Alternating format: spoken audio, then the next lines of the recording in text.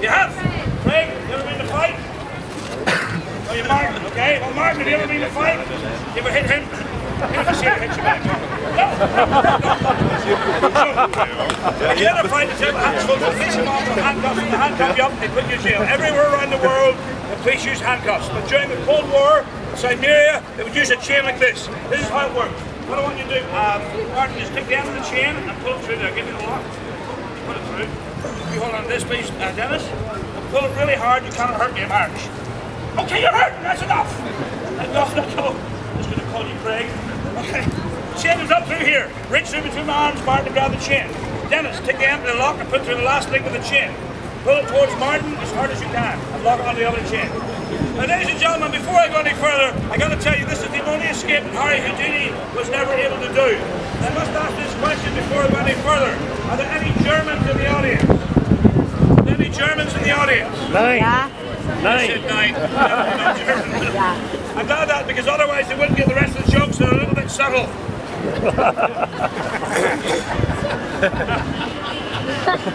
Sometimes it's better not to make a joke. Okay? what I've got over here is called the German sweat bag of death. During the First World War in Germany, they would torture people by putting them in a bag, not unlike this one. They would tie them up and they would steam them for two and a half hours at 220 degrees Celsius.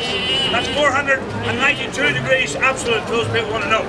50 kilograms of potatoes, 25 onions, 14 carrots, and a bouquet garni.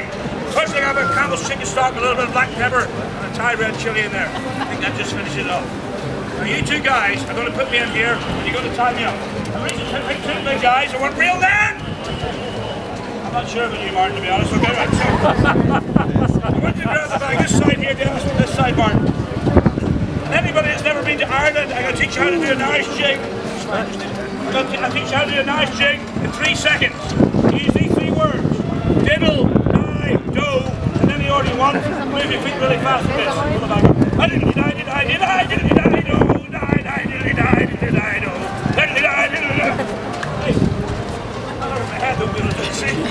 Okay, now Martin, Martin, tuck the bag under my head, under my chin, please, Martin. And Dennis, come on your side of the bag are two ropes, yes? I want you to take those ropes and pull them up towards the sky as if you're about to hang me. Right up there, Dennis. Dennis, Dennis, Dennis, I said as if, as if. Imagine the ropes are shorter than they are. You're twisting one around the other. So you take one rope and you've got to tie a shoelace. Imagine you're doing that and tuck it through the hole. No, look, if you're tying a shoelace, you twist one end around the other and pull it through the little hole. Yeah. Got the idea? Yeah, basically half a knot, yeah. Good man. Pull it all the way through. And it's all the way through, pull it tight around the neck like a drawstring bag. Excellent. Now, Martin, take one of the ropes, please. And walk out towards you. Over. Martin, I want you to let go of my head. Okay, go that way. Walk out there. You go out that way, please, Dennis.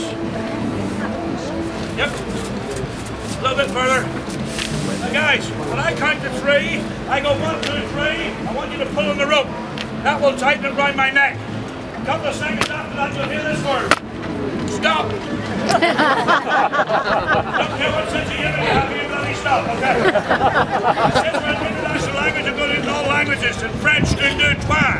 Spanish, uno, dos, tres. Italian, aye, aye, aye, aye, aye, aye. German, aye, zwei, drei. Stopped at the border of Germany trying to smuggle comedy in once, yeah. Indonesian, I've no idea. Thai, Sam, Chinese, asan, ah, Japanese, itchy family scratching. American, one! Another one! More, okay, you ready? On the count three, guys. One, two, three, pull. Pull it hard. Okay, keep it tight and walk in towards me. Keep it tight and walk in towards me. Now you're going to tie another knot, Dennis, exactly like you did before. Now you folk are probably looking at this old fat dude in the back saying to yourself, what the hell would anyone do that for? Fair point. I went to university to study this. And get off my potato! I studied entomology. Who knows what that is? Me neither. I never went to any classes. That's why I'm here. You go out that way, Martin. You go out that way, Dennis. Now don't pull on the rope. And stop him there, uh, Dennis. Stop him there, Martin. Now feed the rope to your hand. You're holding just the end of the rope. Feed the rope through your hand, you're holding just the end of the rope. Yes, now both of you walk in front of me. You make sure you give me all the time cards, man. Okay. Both of you walk in front of me. Walk on towards the potato, please. Walk towards each other. Make your toes touch each other's toes. Look into each other's eyes. World Peace 2013, a big man hug. He did that in Sydney once. It took an hour to get them apart. Okay, now. Martin, I want you to go that way, and Dennis, I want you to walk that way. You're going to ride me in a circle without pulling on the rope. Especially you, Martin, because your rope's a bit tighter. Just relax. That's it. Just go right, keep going, keep going. Walk right round to your back where you started, Will. Then I'll tell you to stop. Keep going, keep going, keep going, keep going. Keep going, and stop. Now guys, when I count to three this time, pull really hard the rope with two hands. One, two, three, pull. Now you gotta, okay, you gotta keep that pressure up on the rope. You're gonna walk up down with the rope tied up really tight. If you stay out the end of the rope and pull hard, that gives you more leverage. Basic science, okay? Pull really hard, tie me up tight. Go up and down the body so you're covering more, more than you. So if you go up, you go down and vice versa. Okay, off you go. Pull it hard, off you go. Walk around me. You gotta move. Okay. Me up tight. Don't be wussies now. That's it. Put a bit of effort in. Up the way, up the way. Yeah, Dennis, up the way. That's it. Up the way. Up, man. Keep it up. Look at your edge. You should be able to do that. Keep it up. Stop, Dennis. Stop. Just walked around my bottom. Pull the shoulders left. Look up, up. Yes, up, yes. Not their fault. I chose them. Okay. You know, I just have to pay for this. Yeah. Germans would have got that joke. Okay, right. Right around the legs, guys. Go down. Go right again. Go right again. Right one more time. That's it. Cross the ropes over at the back. Take a left each. Pull it hard and tie it off. Pull it real hard. One each. Okay, why don't you put your finger in the knot and then tie it off.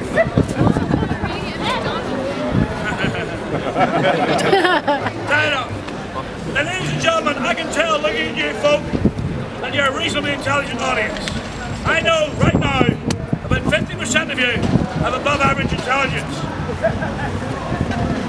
For the ones that didn't get that joke, you should know which category you're in. You to yourself, there's a hole in the front of the bag. There's obviously a reason for the hole. There is. The first time I was in a bag like this, I was in here for four and a half hours. When I escaped from the bag, I did the biggest pee I've ever done in my entire life. And I went to the fellow in the bag and said, can you put a hole in that bag in case it ever happens again?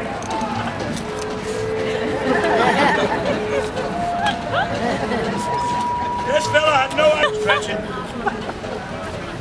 Maybe not. That's even ambitious for me. Okay, right. The guy there's one last thing we're going to do before skate. On the ground over there's a chain. I want you to walk to either end of the chain, please. Straight down there on the ground is the thing with the links in it.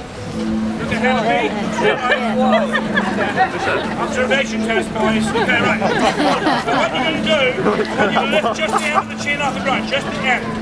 You're going to drag the chain along the ground towards me in a moment, and I'm going to leap over it. Keep it in the ground, because I can't leap over it if it's high, tied up. Okay. Okay.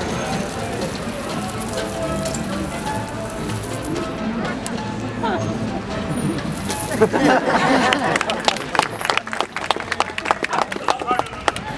lift the chin up, set in the back of my neck. That's a bit below the ears and above the shoulders. That would be good. Walk towards the middle, right in front of me. Now Dennis, you hand your end of the chain to Martin. Martin, hold both ends of the chain, do not move from where you are. Just stay right there. Dennis, come and stand behind me, please. Okay, now Dennis, I want you to level the chain up so it's equal on both sides. Now Martin, come closer to me so you're not pulling on me. That's it. And everybody here, please raise your right hand in the air. Everybody! And I'd like your voice and say after me, I! Aye! Your name! Your name! No, no, no, you smartasses! I! Aye! Please assert your own name at that point! Please insert your name at that point. Do solemnly swear Do solemnly swear give him some money at the end of the show. Where's that right come from? Okay, right. Now stand behind me, please, Dennis. Raise your right hand in the air. Put your index finger straight up in the air. Now, Dennis, behind me is another hole.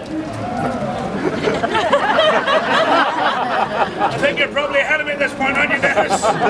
In a moment, I'm going to ask you to stick your finger firmly and sharply into that hole in one swift movement so it comes out the hole at the front. Now, Dennis, if you put your finger in the hole and it does not come out the one at the front, I think you get the wrong hole, that's all. I don't want another incident in Amsterdam. Let me get the position for this. Apparently that's it. Go for it, Dennis. Go. No dinner, no dancing. Right the front, Dennis.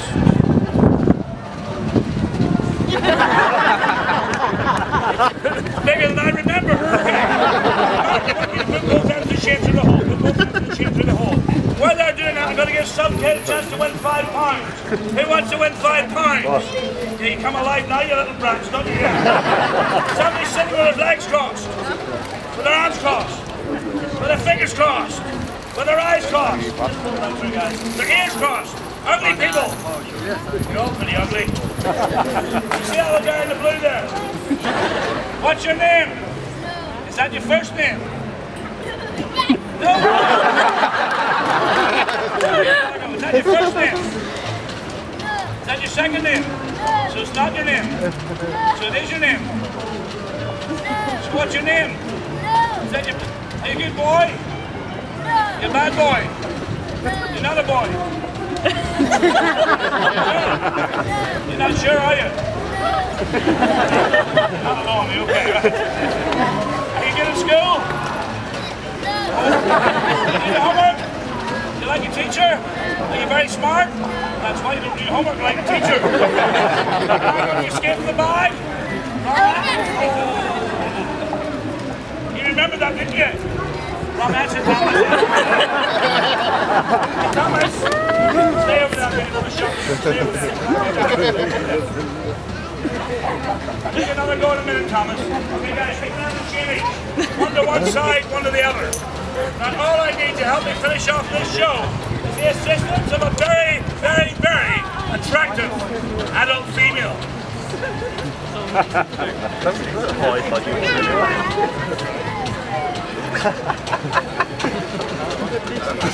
Hell, that's never happened before. you see that lady in the pink right back there? Yes, yes, yes. Coming out. Yes, yes, yes, yes, yes, yes. Yes. It's okay, you don't have very much to do. It's an easy job. All you got to do is point out somebody really attractive. What's your name? Alana, there's a padlock over there on the ground. Alana, guys, don't pull the chain, relax. Okay, Alana, go and stand over beside Dennis, please.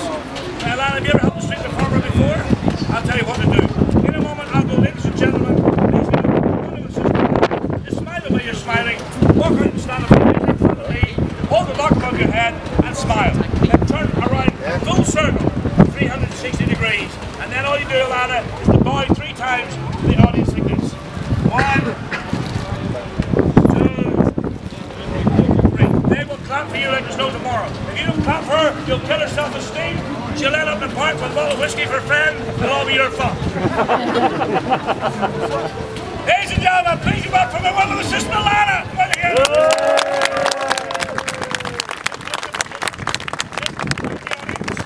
Hold the lock above your head. Smile. Spin around 360. Okay, now three big boys, Alana.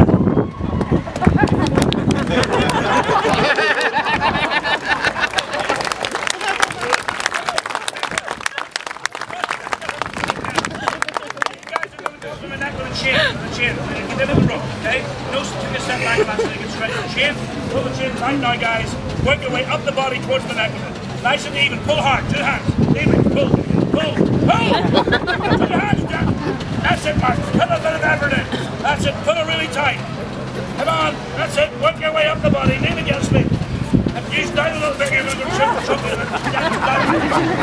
Okay, now round the neck. You have to round the neck of the last. Round the neck. Round the neck. Right around. Right around.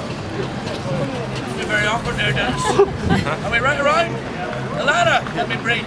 The two shapes cross over. Put the padlock in. Just let, let me. I need to breathe. Okay. Right, put the put the padlock in. Knock it off. All done. Give Alana a big, big round of applause.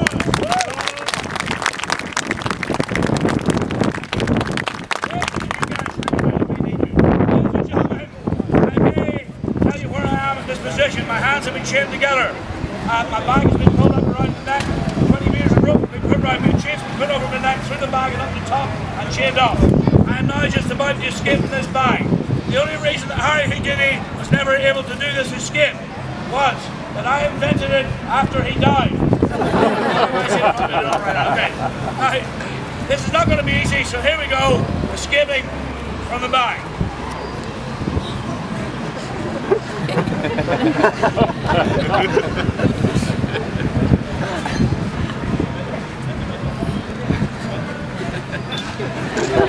you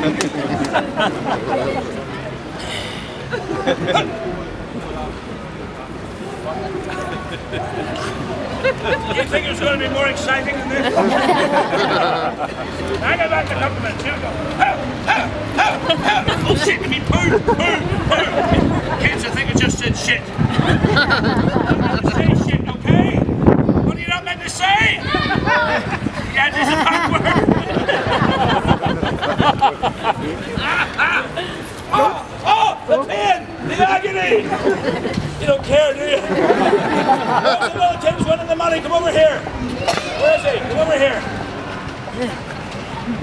Thank you, boy. Pick up the hat. Put the hat on, please.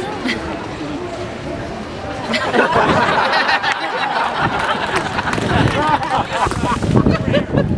Over here. What's your real name? We're not playing that game anymore.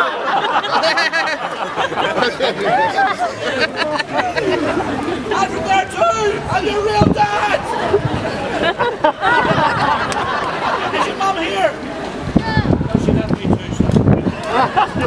I'm not your real dad. You get your chance to win the money, okay? Just say no to you. Money, Ready? Look at the audience, don't look at me. Question number one. Are you a good boy? Good. Question number two, is that the truth? Good. Question number three.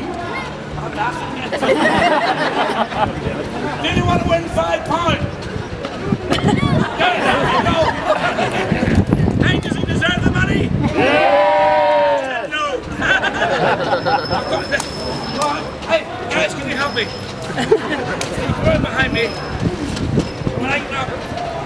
Arm behind my. That's it. Uh, one arm over my elbow, one arm behind my back. Take me straight up. I'm fat and heavy.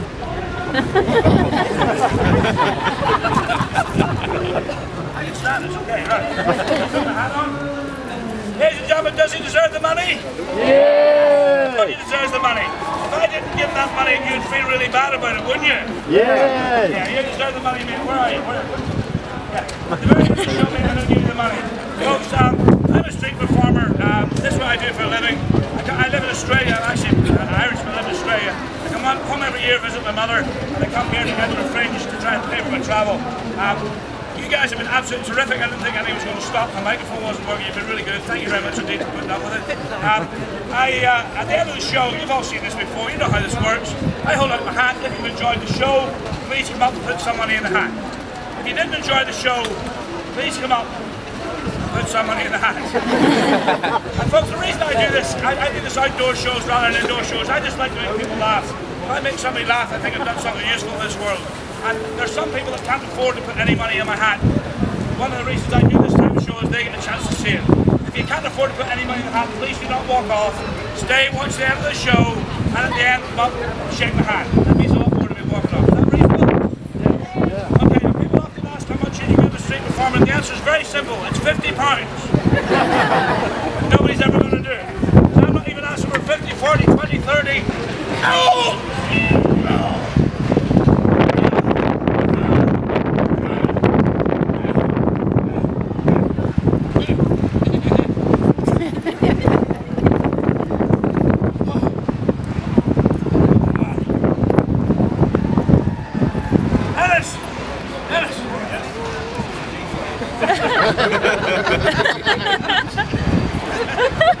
Don't even try it. Look at it. Ladies and gentlemen. Ah.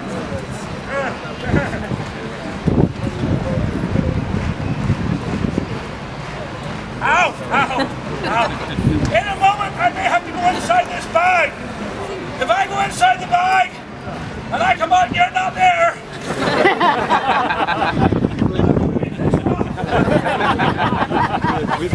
so that I know you're all there. If everybody can put their hands in the air and start a big slow hand clap till I escape. Everybody, come on. Go, people. Go, people, you. Come on, come on.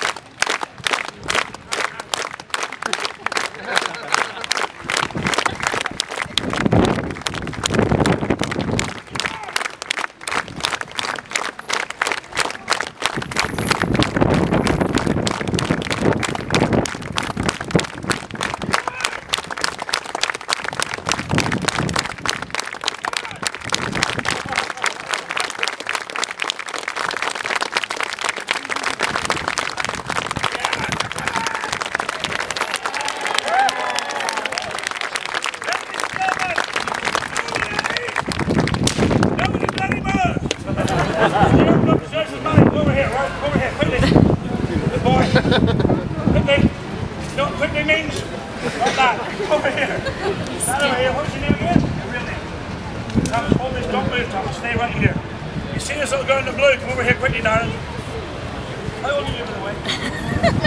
How old are you? Ooh. Give me the money.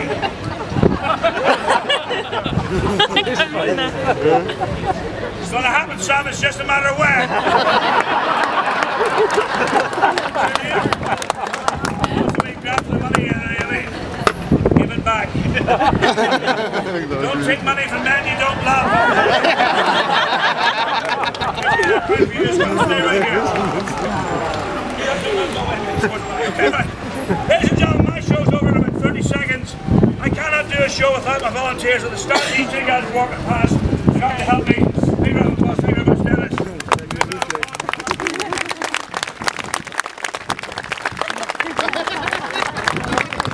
That money's for you. If your mum or dad says put it back in the man's hand, say no. No. Give them your own £10. Gentlemen, it's been a pleasure. Please come forward, put some money in the hat. I do believe it's worth a note if you can afford that. Thank you very much. Have a good afternoon.